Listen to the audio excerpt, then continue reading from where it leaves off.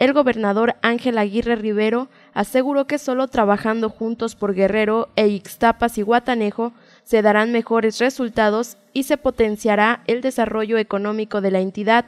En su segundo día de gira por la Costa Grande, el mandatario estatal encabezó el evento de izamiento de bandera azul en la playa El Palmar, que la acredita como una playa limpia, certificada y segura para los turistas. Aquí refrendó su compromiso de sumar esfuerzos para que este destino de playa sea reconocido mundialmente, pues Ixtapa tiene una gran belleza y potencial turístico expresó que obtener esta distinción del programa Blue Fly influirá en buena medida para la llegada del turismo nacional e internacional. Asimismo, en este evento se confirmaron los primeros 25 millones de pesos por parte de la Comisión Nacional del Agua para construir una planta tratadora de aguas residuales.